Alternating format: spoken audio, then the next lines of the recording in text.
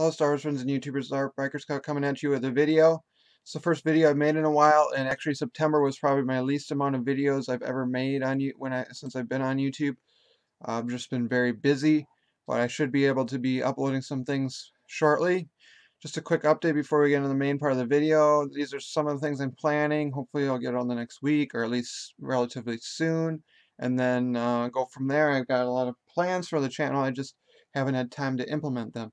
So first of all, I'm going to continue on the uh, Star Wars in Order thing. I'm doing all like the comics, books, video games, whatever, in order and talking about it. So like the next one in line is the Dawn of the Jedi. I only did one of those, and I'm going to do more of those soon. So this is a Prisoner of Bogan.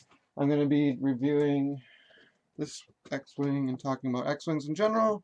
I'm going to do talk about the 6-inch Black Series, R2-D2 in general, and also, this is the thing to get, short story. Buy this book now. If not, uh, you, you're not a fan of Return of the Jedi, I don't know what to say. If you, I guess uh, some people don't like the movie, but obviously I do. So just go and run and get that. Speaking of books, to I am going to be finishing this intro up by saying this is a Star Wars Reads Day video. I went up to Roseville, Minnesota. If you don't know, that's a suburb of St. Paul, Minnesota, in the Twin Cities. And I seen Troy Denning and Dan Wallace, who are relatively local here. They both uh, were there and they answered questions and they did a little talk about what Star Wars Reads Day is all about. I wish I just would have recorded the Q&A instead of the beginning, but the beginning is very interesting too. Um, so you'll have to see it. I did not edit anything out of it. I did not have a tripod, so it is a bit shaky. I, I, I realize that, but it's still enjoyable, and you can listen to it and watch both uh, Mr. Wallace and Mr. Denning, of course. Uh, Troy Denning's book Crucible. It's really good. I should have done a review on it, but now at this point, um, there's going to be some other plans with that as far as that goes. And then Dan Wallace has been doing things like the Jedi Path and the Book of Sith and things like that recently. He'll talk about that, but here's like an example. But he's been doing Star Wars books back to the Essential Guides in the 90s, so um, that should be it. Uh, there's, like I said, it's not edited, so you you got the entire footage I have from the event. There's other footage of Star Wars Reads Day out there, which was yesterday on the Wolfpack CCM, the Wookiee Hunt channel. I'll put you uh, links to that. One was a live show where they talked about. I haven't watched it yet, so I can't comment on what exactly they say. So on the Star Wars Live front, um, next week, a week from now, hopefully there'll be a Star Wars Live show on Star Wars Live. Uh, details forthcoming in midweek this coming week, and that, that's about it. Oh, also Joker Fett has some Star Wars Reads Day footage or comments, he went to see Steve Sansweet and Pablo Hidalgo. The other footage out there right now is New York Comic Con, New York, not New York Comic Con, but New York footage and also Florida footage with Ashley Eckstein. So, hope you enjoy this Star Wars Reads Day footage from Minnesota, and until next time, may the Force be with you. Here with Troy Denning, and we are. Uh, can you hear me okay? No, there we go. That's the right distance to. The, sorry. Um, basically, uh, uh, some of you guys have been here before. We've, we've been to this location before. We've been to Star Wars Reads Day before. Um, this is the second year that Star Wars Reads Day has been in effect. And uh, it's basically a um, uh, big success last year. It's not just here in uh, Roseville, it's all over the country. It's actually all over North America. Lucasfilm has aligned with their various publishing partners um, like Random House and DK and Workman Publishing and a lot of other um, book sellers uh, and publishers who publish Star Wars books. Sometimes it's novels, sometimes it's nonfiction things like guidebooks, sometimes it's books for kids, but uh, all these uh, publishers have met with great success releasing Star Wars books over the last 30 years that Star Wars has been around. God, Star Wars has been around for long time. Um, and uh, what both whether you're really young or whether you're old, whether you grew up with Star Wars or whether you're just getting into it, um, it's obviously a series of movies, but it's a lot more than that. Um, it's an animated series, it's video games, it's comics, um, it can be um, you know in-person things, and it can be books. So from a and sparking a love of reading, that's really what Star Wars Reads Day is all about. If you like Star Wars, there's probably going to be a book out there that you like to read about.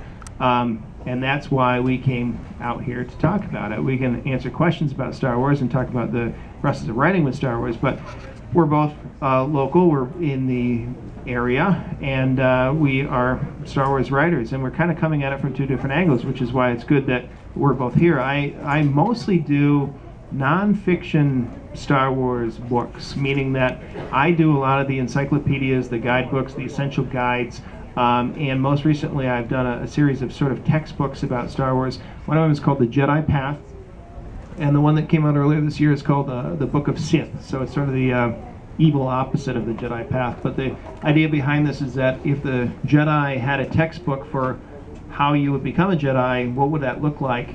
Um, who would have written in it? Who would have written it? Uh, and what subjects would it cover? Um, this is the same idea, but sort of the um, the opposite of that. What? Why would the why are the Sith the bad guys? You know, what what makes them that way? Would they think of themselves as the bad guys? And so it's it's more about uh, the facts and figures. Um, Troy is coming at it from a different angle. He's a, a novelist. He's written a number of, of original Star Wars books starring the members of the main cast and what happened after the movies for Han and Luke and Leia. And um, uh, whether you're get you know more toward this end or more toward that end. Um, it, really, the, the term for it is expanded universe. Um, there's more beyond the. Uh, there's more to Star Wars than just the movies. If you've seen all six movies multiple times, like like I have, uh, there's a lot more to it. There, there's probably way more than you could even imagine, more than you can possibly imagine. So. So let me. That's just a setup, and then uh, you, uh, let you kind of go off a little bit about your role in all of this machine. Troy's been associated with it a lot longer than I have. Um, well, I used to be a, a, game designer. My first job out of college was working for the people who um, published Dungeons and Dragons. Um, that was back when it was still owned by TSR. And through that, um, that was in 1981, so that was a long time ago. just a few years after Star Wars came out. Um, but through that, I became involved in writing game product for the company who had the first Star Wars role-playing games, um, West End Games.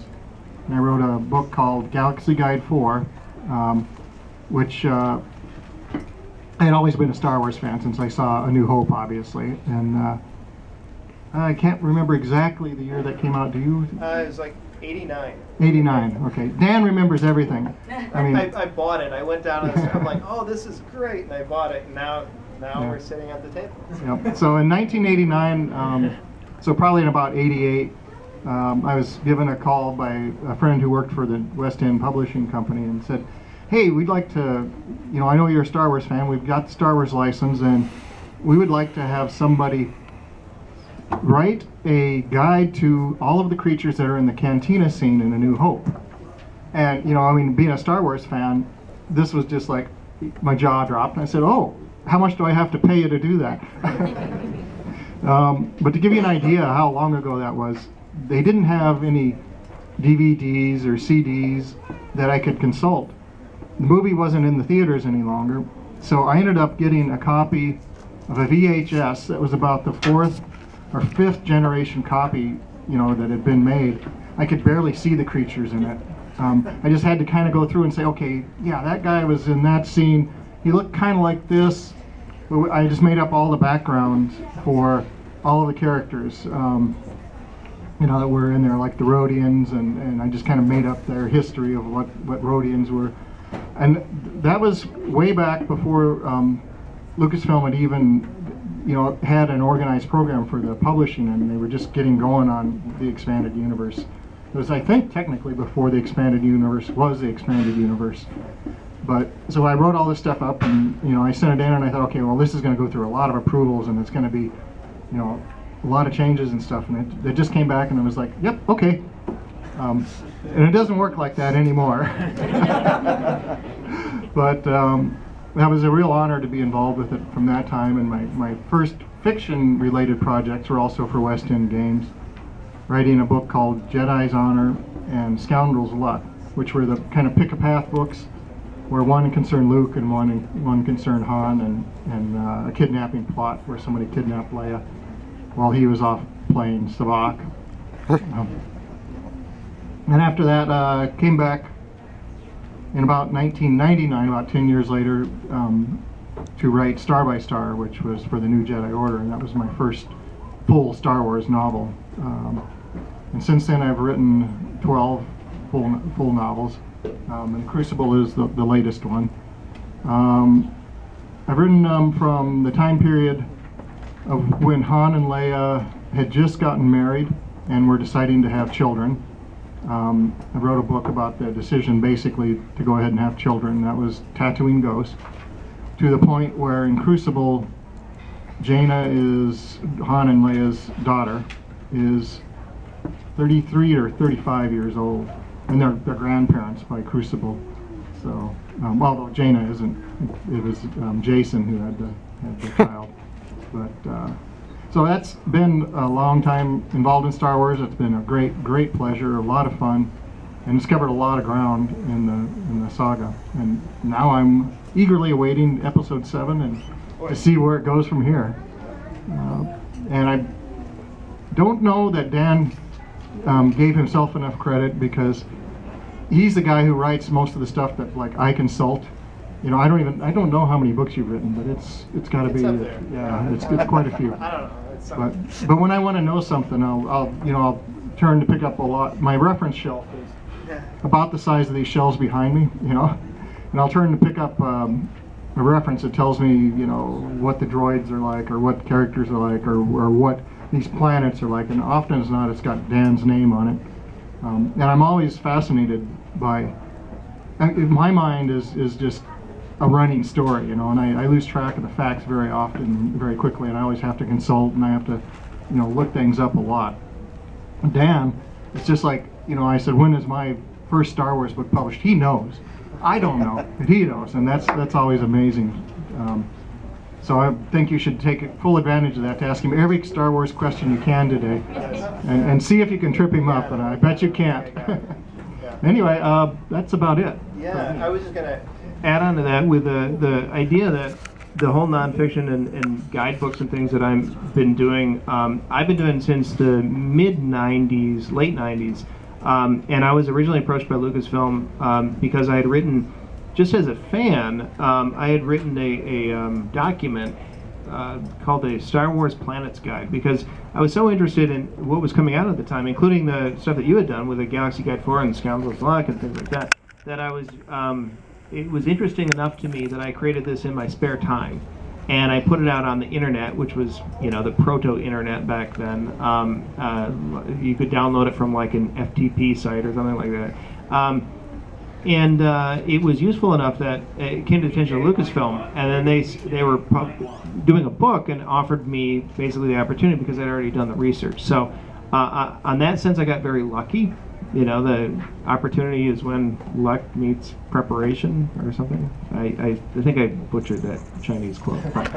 Things like Troy said, I, I worked on or contributed to probably a couple of dozen books and um, that's kind of the lesson on that in that you can kind of hopefully pursue the passion that you like to do in reading and in writing maybe you, you like to write uh, or maybe you don't maybe you just like to read but that's kind of what star wars reads day is kind of all about if you're here you're probably a star wars fan um, there's a niche there's something out there that you would enjoy reading um, I would encourage you, if you like to write, to do that kind of thing. You don't have to write original story. You certainly can. If you like to write uh, stories in the way that Troy likes, and you're interested in Star Wars, you can do that in your spare time too. Like what happened after the movies, your own uh, version of uh, what's in your head. What I used to do was sort of take the facts and figures and make my own little encyclopedias. That's what that Planet Guide was, because it was interesting to me. Um, and uh, it, it doesn't matter really whether it gets published or not. I mean, it's great. You know, I love it that uh, I'm able to do this sort of as as a career, but I'd probably be doing it anyway, even if it wasn't. You know, that's what I was doing beforehand. I was just doing it because I was passionate about it. It was interesting to me, and that's kind of, I think, uh, the the the secret behind Star Wars Reads Day in general is if you like this. Um, pursue it. You know, um, you like the the universe, so learn more about it, um, read more about it, uh, create more about it. If you're an artist, you can do your own artwork for it. If you um, are a video game designer, you could make your own stuff. It doesn't matter whether it's official or not. I think the real thing about um, Star Wars or, or whatever whatever your passion is is to pursue the thing that you like uh, into the other thing that you like. If you like to write, then try to match those things up. Um, because if you if you sort of talk yourself out of it, like, oh, I shouldn't write a Star Wars story because it won't get published, or I shouldn't write a Star Wars story because I should come up with my own stuff instead. Um, that's fine, but if you do that and you psych yourself out because you're no longer passionate about the new thing, that's much worse because now you're not going to do anything. So always pursue the thing that you like, uh, that you're passionate about, whether or not um, you have any end goal in mind, because the act of creating is really should be the end goal. It's not about the, the finish line. The finish line is is, is up here. So um, you'd agree with that, right?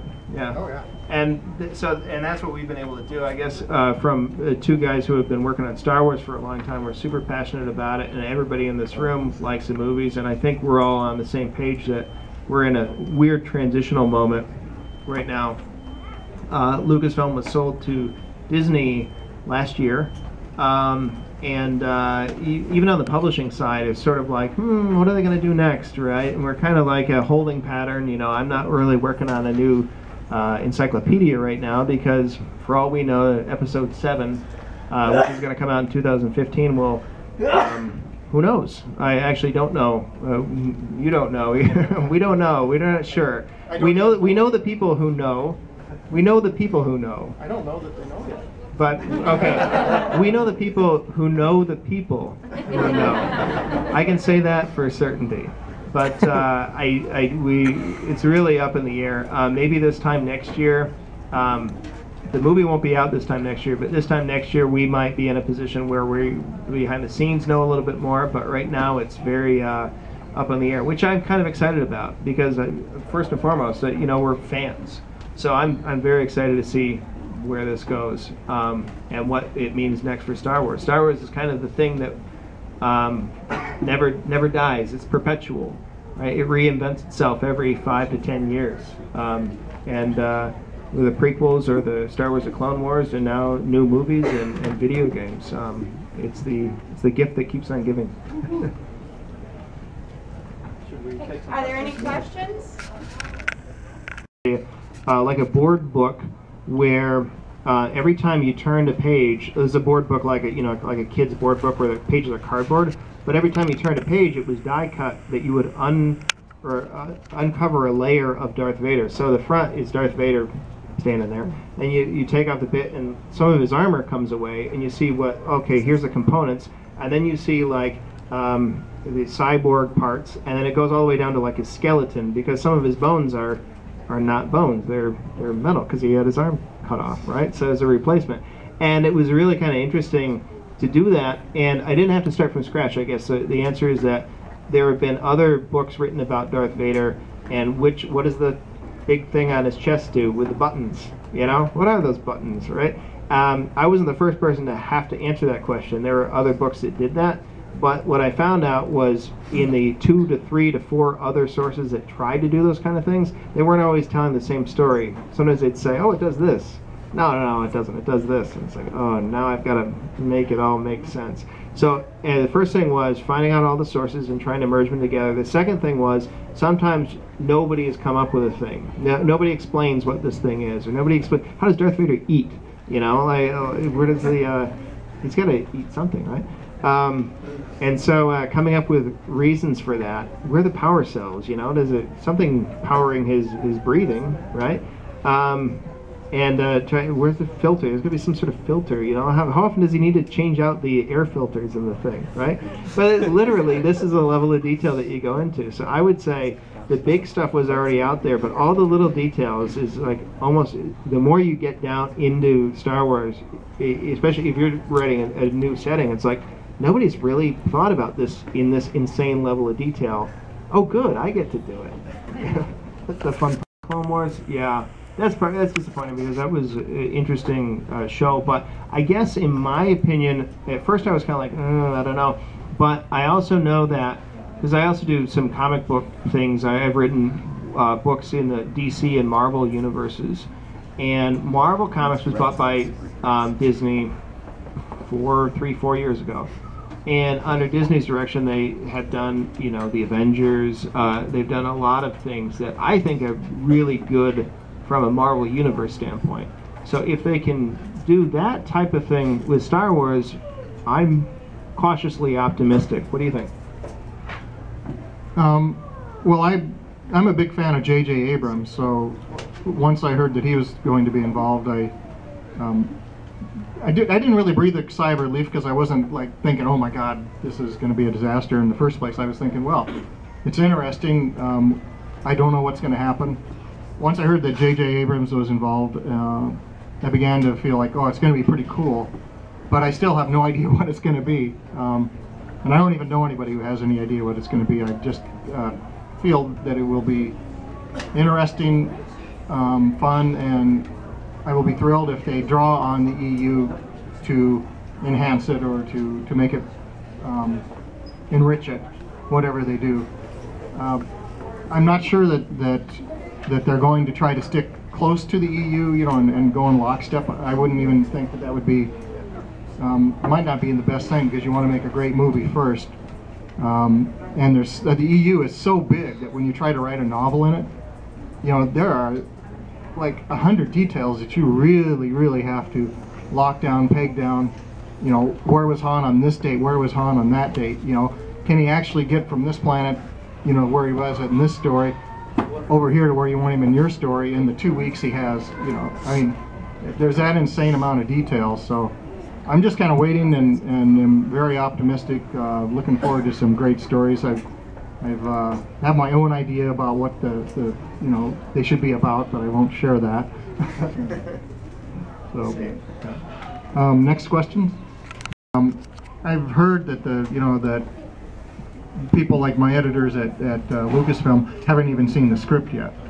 Um, and I don't think that that'll be changing for a couple months or so and they just won't know that until they see the script.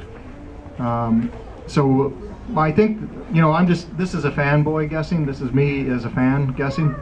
My guess is, is that probably they will lift what's useful out of the EU and um, then it will continue to exist in, in that form. But I doubt that they will write themselves in, in um, view the EU as a straitjacket and allow it to shape the movie, just because I think that, you know, they we need, we want them to have the freedom to do the best possible movie they can. And so, so my personal hope is, is that, you know, they use the EU as a resource, but don't feel straitjacketed by it.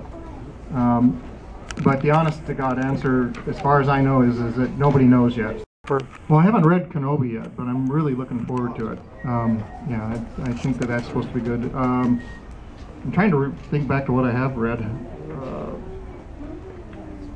you know, I, am having a hard time. Let's see. Knight or Knight Errant. I, I'm sure that it's good, but, but yeah. um, Brian Wood Star Wars comics, or I don't know if yeah. stuff like that, or uh, yeah, Brian Wood Star Wars comics are, are good. On the comics front, the, the one that just came out was um, I, I just find it really intriguing, an interesting idea. Uh, Lucasfilm authorized a comic book adaptation of the George Lucas's original rough draft for Star Wars. It's a comic book series called The Star Wars because that was the original name of Star Wars was The Star Wars, and um, uh, he wrote a story that was very different. You know, it had sort of an Anakin and it sort of had a Luke, but they were very different, and the, the setup was completely different. The plot was completely different. And then he eventually abandoned that draft and he wrote the one that we all know from the movies. And uh, um, as a really interesting curiosity. They are publishing it now. The first issue just came out, um, an adaptation of that. So it's almost like a um, alternate universe, uh, parallel universe. What if uh, this was the movie that ended up getting made, and this is the comics adaptation? It's very, uh, it, it's fun. It's a really fun to experience that kind of thing. Sort of a most dangerous game knockoff, but the uh, the the thing that was trying to kill him was the, the was that creature So that's my answer. You, you can't beat that. There's no way you can get more obscure than the Florn Lamproid. Um, No, I probably couldn't get more obscure than that. Although I could t- mention the Dwin, Duinuogwuin. Oh, the- the, the yeah, Star the, the Star Dragons. Yeah. Um, but my favorite is actually the Squibs, uh, which I've written some some squibs into a couple of uh, stories, um, the Dark Nest trilogy and Tatooine Ghost. Um, I just like these little con artists.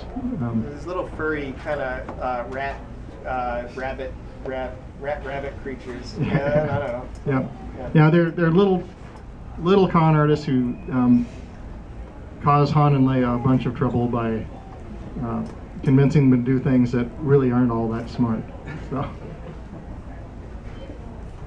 worked. Um, I wasn't there for the original story meeting for the New Jedi Order, um, but I was there for um, a mid-course kind of, I- wouldn't say correction, but mid-course consolidation.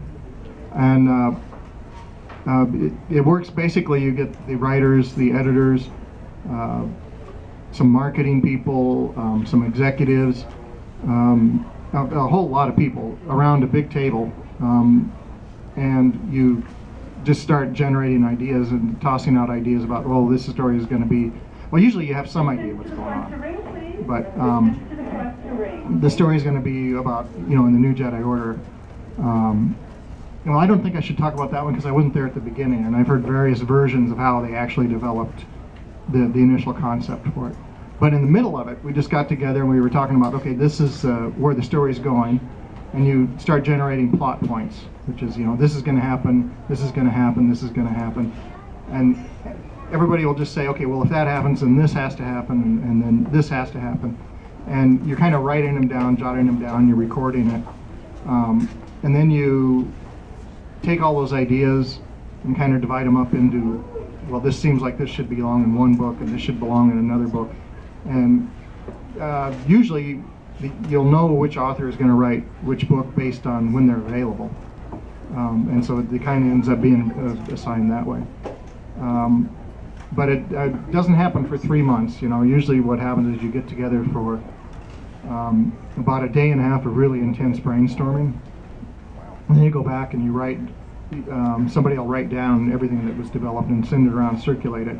Then people will um, add their memory of their recollections, their ideas, and circulate it back. And then once that's done, each author will write an outline based on, you know, based on what the plot points were. They'll write an outline for their first book, circulate that around. And once that's finally, everybody kind of agrees on that, then you have your outline to start the story. And um, the really cool part about doing that is, is that the first time I did it, I got to see Skywalker Ranch. Second time I did it, I got to see Big Rock. And the third time I got to do it, I got to go to the Presidio, which was, so I've seen, I think, all three of their main headquarters through being involved with that. And that was really the coolest part. and, and, and their lunch programs, they, they have the most amazing cafeterias at all of those places. uh, I was in the middle of, because it was announced, uh, writing the new Essential Guide to Characters. Um, it's been kind of, you know, paused, I guess, uh, right now because of the movies.